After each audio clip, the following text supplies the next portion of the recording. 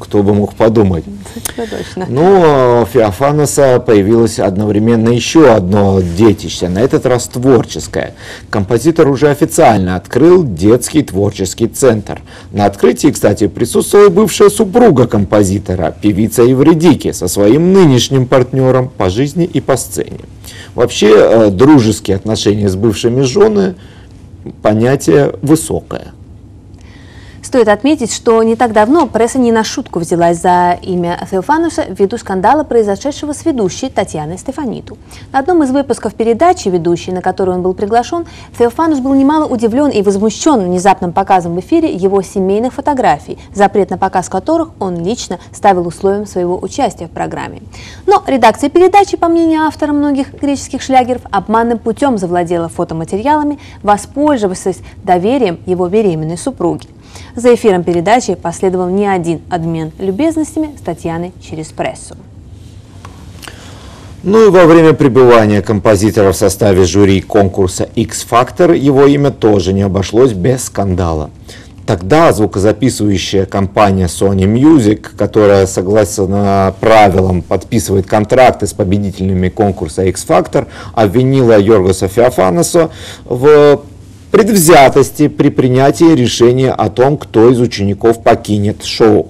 Напомним, что кандидатами на вылет были грузинская певица Нини и 16-летняя тогда киприотка Иви Адаму. Теофанус предпочел оставить шоу, в шоу именно Нини, хотя другая участница была явно в фаворитах конкурса. За обвинением последовали требования компании Sony Music вернуть Адаму в шоу, а в качестве улик предвзятости Теофануса были представлены его имейлы, намекавшие на то, что у композитора не было определенного экономического стимула отдавать предпочтение киприотке. Так тогда грузинка Нини не только осталась в шоу, но и заняла второе место – Пока, правда, ничего не слышно о ее дальнейших продвижениях на музыкальном рынке. Будем надеяться, что ей повезет в карьере точно так же, как э, и ее соотечественнице, певице Тамте. А вот «Яблоко раздора» Иви Адаму уже во всех крутит свой второй клип на различных телеканалах и активно участвует в передачах и шоу. А для этого даже не пришлось ей и побеждать на конкурсе X-Factor. Кстати, возвращаясь к не совсем спокойному участию Йоргуса Теофануса в передаче Татьяны Стефаниду, заметим, что композитор не применил рассказать журналистам, что Татьяна, уговаривая его принять участие именно в ее шоу, весьма нелестно отзывалась о своей конкурентке Элене Минигаки. Что бы там ни говорила э, Стефаниду, Елене Минигаки тем временем получила в очередной раз премию любимой ведущей года на 13-й церемонии телевизионных наград «Лица» 2009 года.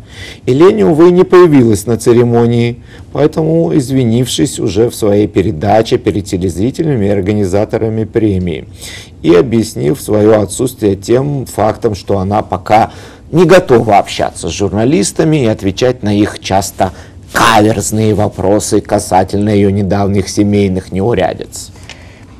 Так что приз за блондинку получил Илья Псинакис, а среди других обладателей премии Ангелики Николули с программой «Свет в туннеле», аналогом российской «Жди меня», сатирическая программа Елена Френия, сериал «Кровавые пески», журналист и ведущий Никос Хадзуниколау – а также Панайота Вланди, исполнившая главную роль в комическом боевике-сериале «Черная полночь» Мавра Мисанихта.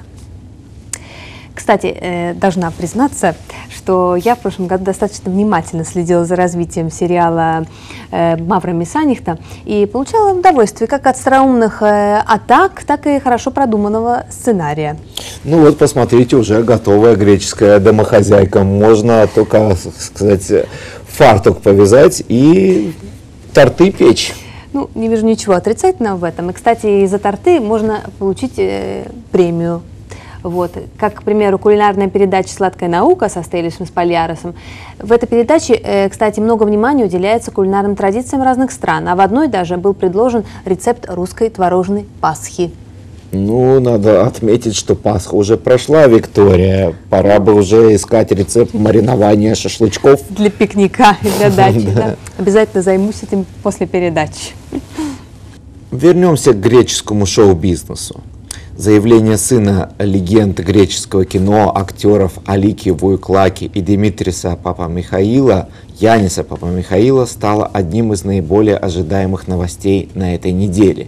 Сорокалетний отплеск э, блестящей артистической семьи наконец признался, что более 10 лет принимал наркотики. Начало кокаиновой эпопеи было положено сразу после смерти его матери, потеря которой стала для Яниса настоящим шоком. Не смог э, он справиться с повышенным вниманием прессы, которая обрушилась на него вслед за трагическим финалом жизни Алики. В 2004 году умирает и отец Яниса. Так и не сложившиеся отношения с отцом выливаются в новый удар. Родитель в своем завещании лишает наследства собственного сына. А вскоре сына Алики Вуеклаки арестовывают. Июльским вечером папа Михаил под воздействием наркотиков вызывает полицию, сообщая, что ему угрожают в его собственном доме. Но полиция, приехавшая на вызов, находит в доме только кокаин, пули и коробки со смоторными средствами. Ну и самого Яниса Папа Михаила – э, невменяемом состоянии, с пистолетом в руке, пытающегося обороняться от никого. Сейчас герой новостей пишет свою вторую книгу о своей жизни, посещает психолога, пытаясь расстаться с наркотиками, и осознает, что из 10 наркоманов только двое по статистике могут оставить пагубную привычку. Он искренне надеется, что он будет одним из тех двух счастливчиков, и сожалеет о том, что не может повернуть время вспять. Что бы он сделал по-другому в своей жизни в этом случае? Как говорит сам Папа Михаил, он бы не начал историю с наркотиками и изменил бы свои отношения с хорошими друзьями матери и со своими родственниками. Однако изменить семейные отношения к лучшему желают далеко не все.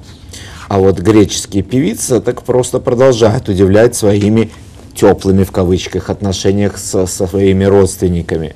Э, не прошло и месяца с тех пор, как Джулия Александрату, ах, когда же выйдет новый триллер этой кинодивы, не знаю прямо, э, перестала общаться со своими родителями, обвиняя отца в давлении на нее и унижении ее достоинства на протяжении всех детских лет.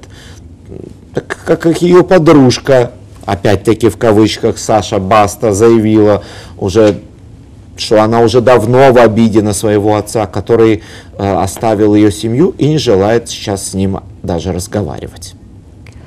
Помнится, что несколько лет назад мать певицы Ангелики Илиади жаловалась в эфире дневных программ, что узнала о рождении внука из газет, так как дочь, которая, кстати, является внучкой греческой легенды Кэти Грей, прекратила всяческие общение со своей семьей.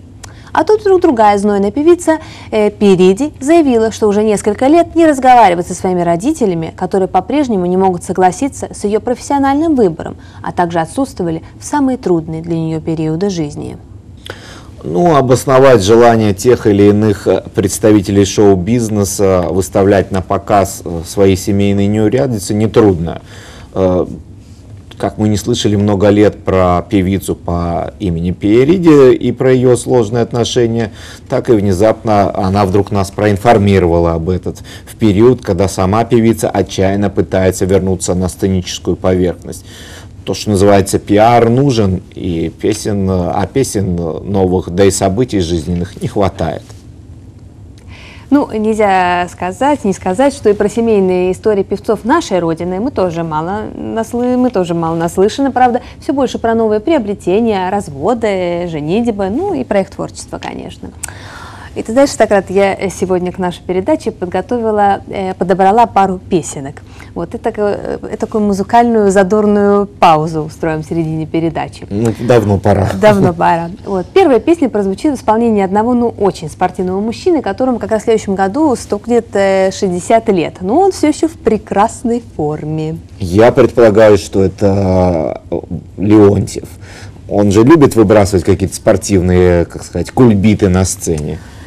Нет, Сократ, это не Леонтьев, но подскажу, что данный товарищ благополучно женат на бывшей супруге экономически печального известного субъекта по фамилии Мавроди. кстати, греческого происхождения. Да. Ну, я надеюсь, что ты не опять про деньги. Нет, я не про деньги, я про любовь. Ну, а вторая песня тебе, несомненно, понравится э, еще больше, я думаю. Во всяком случае, греческая редакция нашей передачи, увидев клип, не только сразу захотела учить русский язык, но и стала требовать пригласить певицу на гастроли, причем срочно. Ну, заинтриговала. Итак, э, наша песня в эфире.